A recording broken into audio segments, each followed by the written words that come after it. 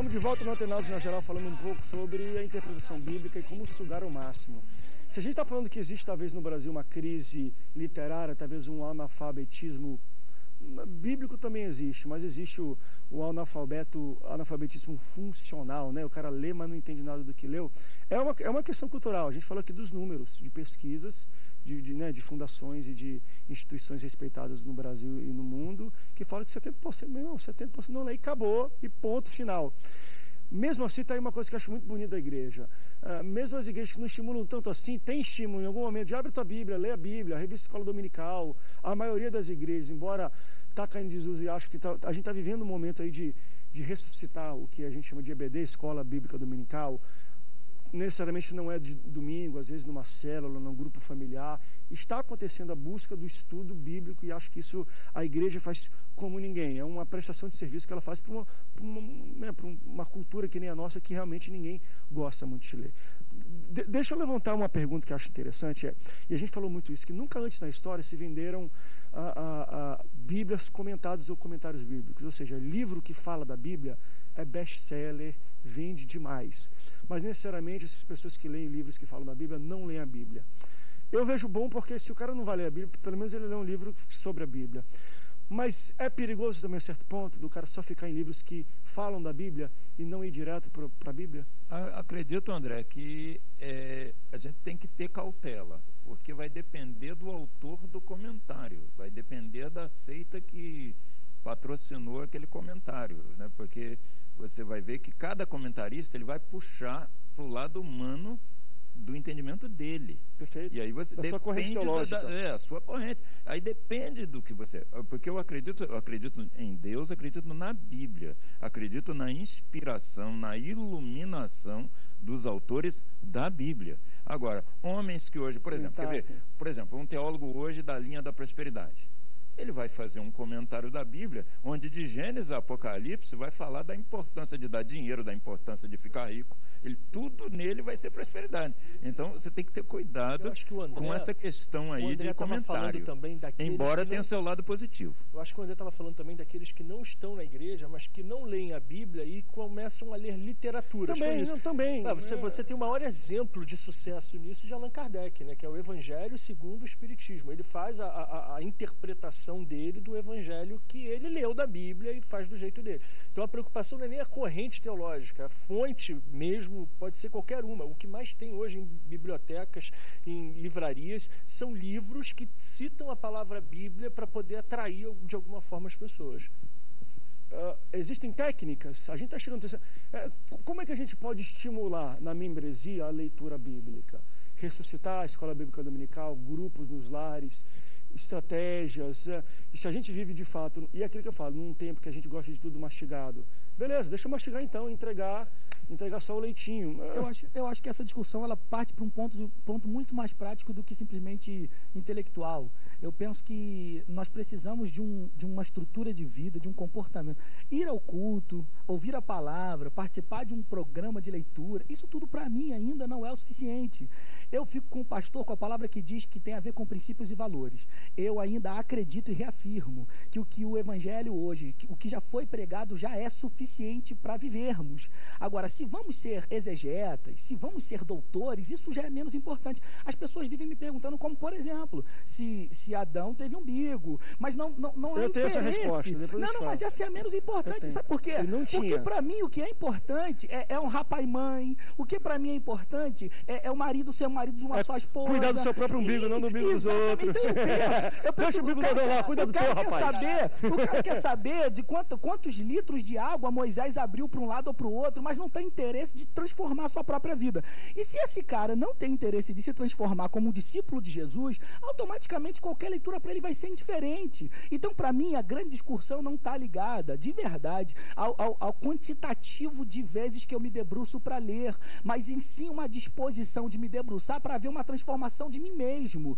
Então, eu digo, é culpa dos pastores? É. É culpa também de quem ouve dos pastores e não tem uma disposição de ir lá pesquisar? Também é. Enfim, essa cultura do Brasil Brasil que não tem incentivo de leitura, que é do governo, também é um problema da igreja que também não tem incentivo das lideranças. Enfim, eu acho que é um círculo vicioso. Eu acho que falta a gente parar de pregar algumas coisas que são meio que sem muita importância e passarmos a pregar o que deveria ser mais fundamental. Paulo chega a dizer: Eu não me canso de dizer as mesmas coisas. Paulo não tinha interesse de achar de um texto, de pregar uma mensagem nova. Jesus repetiu as mesmas coisas desde o início.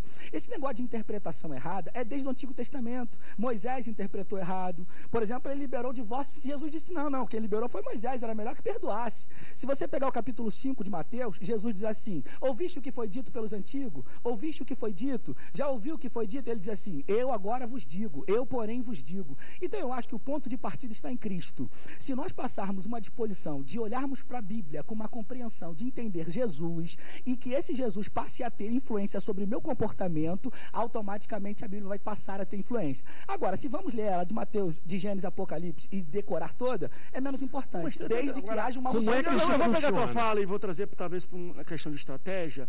Ele- Tu falou uma coisa que eu acho muito interessante, que o meu pai ele gosta de reafirmar muito e até fala isso de púlpito, né? Eu, eu acho que ele já chegou a desenvolver, mas isso internamente na igreja, um livreto, que ele fala o seguinte, que, e ele, ele é muito assim, a Bíblia é toda importante, é, mas ele fala, existem coisas mais importantes que outras na Bíblia, né? Porque tem questões históricas, ele fala o seguinte, eu- eu- eu- ele fez uma versão bíblica só com o que Jesus disse. Legal, É, muito bom. Quero escuta, ter acesso a isso. Meu irmão, não precisa ir em Apocalipse, não vai em. Gênesis. Exatamente. Olha aqui, ó, olha aqui o que Jesus disse. Rapaz, se tu aprender 10% disso aqui, meu irmão, já está muito bom. Não, olha só. Já está muito o que bom. irmão, o que, melhor, Porque a gente às vezes assim, não, tá crente, você tem que. A, a- a gente também às vezes Só as palavras resposta. vermelhas da Bíblia Thompson. Isso. É. Eu, eu, O falo? Tá certo. Abre aquilo, a história de Jesus vermelho, só lê aquilo durante um ano, querido. Não, não tenta querer entender. E- esse- e vai praticar, da e criação, praticar. Porque a gente É entra isso nisso, aí. né? Aí o antenado, às vezes. Tá aí. É isso aí, eu levo culpa. A às, às- às vezes a gente piora isso aqui. Porque o cara é crente, está começando a ler, ele abre a Bíblia, li- liga no antenado, a gente começa a discutir. Mas então- É um dia literal ou é um período da criação? Aí pronto, eu quero ficar todo A, bem. a- a grande questão, a grande questão, André, a grande questão é a seguinte: é o que passa, é o que está saindo dos púlpitos, cara. Eles, exatamente. Ó, tá é, trazendo sobre vocês a nós, responsa. Não, sim, mas Verdade, a responsabilidade é nossa. A responsabilidade é nossa. Lá na igreja, eu costumo dizer o seguinte: gente, o evangelho é prático para toda a vida e para a vida toda. Entendeu? E outra coisa, quando eu acabar de ministrar aqui, eu quero ser questionado. Eu quero que você me pare e fale, pastor, por que, que o senhor disse isso? Aonde está? Me permita ver. Hoje não há isso. são sedentos. a gente Ninguém vai pode criando. questionar não, não, a nada. gente vai Então, essa criando. centralização é Esse é o problema. É, esse é o Ninguém problema. questiona. E Centralização. quando você questiona, você é rebelde. Aí o camarada Exatamente, fica assim, cara. vou ficar com o que ele está falando lá. Porque se eu trouxer o Você que eu expôs, achando aqui, medo às vezes também, né? Porque eu já não entendo muito. Vou questionar um negócio do pastor, ele manda outro versículo. Pô, rapaz, olha só, André, uma experiência que eu tive. É- é Eu fui- intimidador. Eu fui, pregar numa igreja. Gente, quando eu acabei de ministrar, eu disse assim, gente, olha só. É, Era, era uma, eu não me lembro qual era a mensagem. Eu sei que no meio da mensagem eu falei: qualquer dúvida que você tiver, seja quem for que estiver pregando, vá em cima e peça explicações. Acabou o culto e tal. Daqui a pouco veio o irmão. Pastor, tu me botou numa roubada, meu irmão. Eu falei, o que, que houve, rapaz? Tá vendo aqueles quatro ali? Eu falei, o que, que houve? Estão com a Bíblia na mão, querendo saber o porquê que o pastor que ontem teve aqui disse que não podia realizar não sei o que, não sei o que. E os caras agora ouviram você falar que tem que perguntar. Isso E é os caras estão ali. Eu falei, meu irmão, glória a Deus que quatro se levantaram para perguntar alguma coisa a vocês. Eu, eu volto a dizer, Jesus ensinou o seguinte, ele disse, aquele que ouve as minhas palavras e as pratica, é comparado ao homem que edificou a sua casa sobre a rocha.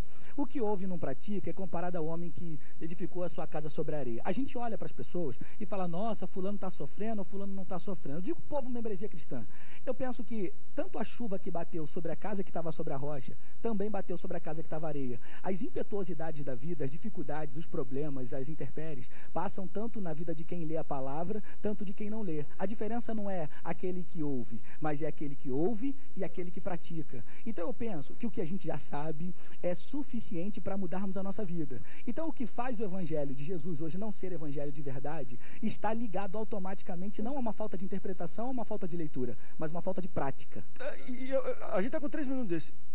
Realmente é isso. Porque, sinceramente, eu quando vejo, eu não vejo tanta carência de prática. Por incrível que pareça.